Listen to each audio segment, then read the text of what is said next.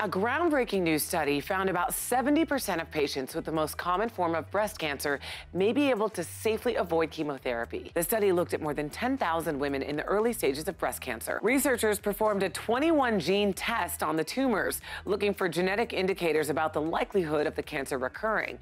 The test gives a recurrence score of 0 to 100, with lower numbers signaling a low chance of recurrence and higher numbers like a score of 26 or above, signaling a higher chance of recurrence. This study examined a group of patients that fell in the mid range with scores from 11 to 25. They split breast cancer patients with mid range scores into two groups. One group received hormonal therapy and chemotherapy, the other received hormonal therapy but no chemo.